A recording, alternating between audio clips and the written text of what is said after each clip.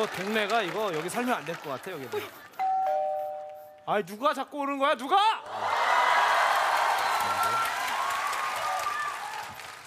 어 깜짝이야 뭐야 이거. 아니, 뭐 하는 거야 남의 집에서? 아 제가 여기 10년 전에 여기다 타임캡슐 하나 묻어놨거든요. 빌라에다가? 아, 아 어, 여기 있다. 어머 이런 게 있었어 집에? 오, 오. 아, 이걸 왜 우리 집에 묻어놨어 근데?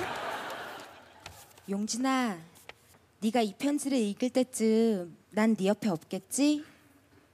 나 없다고 매일 술 마시고 울면 안 돼. 그리고 꼭 나보다 좋은 여자 만나.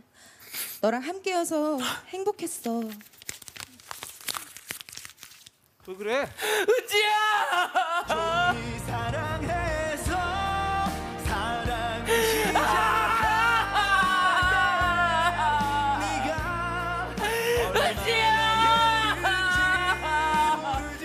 그 모습을 아직도 못 잊어 헤어나오지 못해 네 소식 듣는 날은